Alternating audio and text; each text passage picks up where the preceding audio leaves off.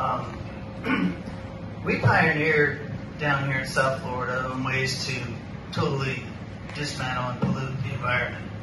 And I really think it's important that we're are also the ones that pioneer the way to clean it up.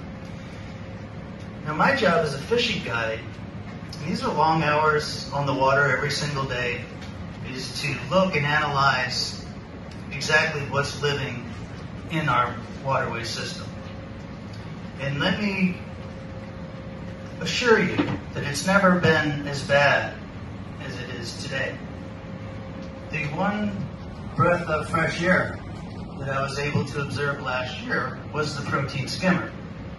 So whether or not that's the answer to cleaning up everything or not, I firmly believe that giving companies the opportunity to pioneer a new Florida, a new way to clean up, um, is the way to go.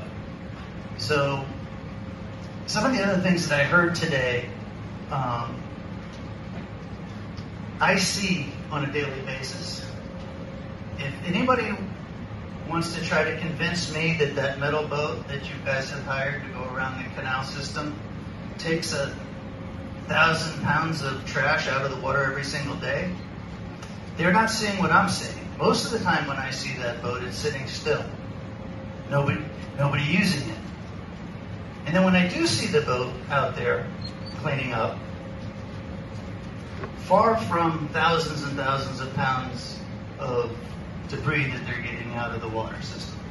So I'm not sure how you guys are calculating that um, from that particular company, but I can tell you from a bird's eye view that it's failing and it's failing miserably. Um, as far as the Himmarshee Canal goes, that just happens to be in my neighborhood and on my walk every single day, and I often get bait in the Himmarshee Canal. And I watch the protein skimmer clean the canal, and I also watch the pipes in that canal repollute the canal And whether it's raining or not is not necessarily um, the determining factor. It'll be dry for weeks on out.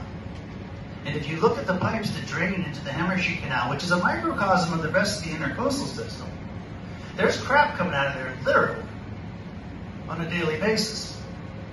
Maybe not every single day, all the time, but I take pictures of it on my walk. I take pictures of it on my daily work routine. And I firmly believe that it's going to be companies in the private sector that we need to give a chance to clean up the waterways. Now, I spent three and a half, four hours today here just to give you three minutes of what I have to say. So I hope you take it, and I hope you understand where I'm coming from, and I hope you guys are the leaders here in the state of Florida to pioneer the way for clean water. And I firmly believe that the protein skimmer is a right step in the right direction.